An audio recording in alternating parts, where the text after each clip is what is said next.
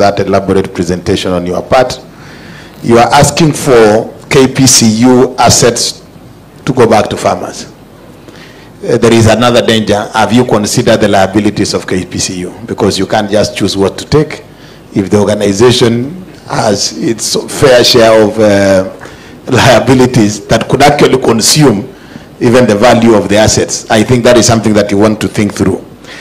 Secondly, and maybe this is more also to ourselves as, I mean, particularly the legislators, there is a huge outcry by farmers and sectors that they want to go back to. I mean, and if you had every presentation this morning, it was like we want to take coffee to where it used to be. The same thing will happen with the tea, we want to go to where we were. The same thing has been happening with the uh, sugarcane, we want to go to where we were. But uh, what got us to where we are right now is that we broke some of the institutions that farmers are asking right now in the three sectors were institutions that we actually collapsed ourselves and created something called AFA or is it AFA? So it seems that we may not have thought it right or thought it well for us to break these, I mean, all these institutions into one organization. And I see the point by farmers that assuming the cartels are very strong in the uh, agriculture sector, they could sit the entire AFA and all the farmers in sugarcane, in tea would suffer. So I think I would, I personally want to say that this aspect of Coffee Board of Kenya being reinstated is a good thing.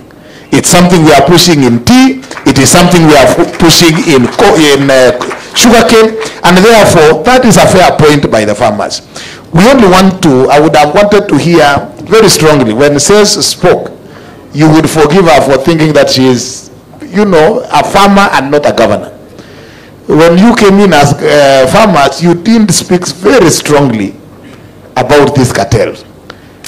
Sometimes, and you know, see, this is sometimes we are getting a lot of feedback also, saying that a little bit of that comment seems to be a comment that would sit well with with some of those cartels.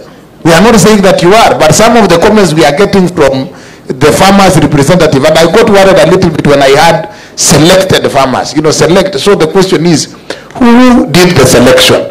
Because we could be receiving a point that does not reflect the entire view of farmers, but actually a, a team of farmers that is fairly elite.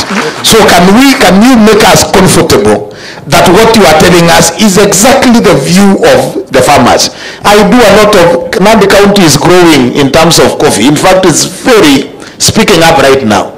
I haven't seen any of my farmers here. My question is, uh, the selection process of the farmers to come here, uh, you know, how did my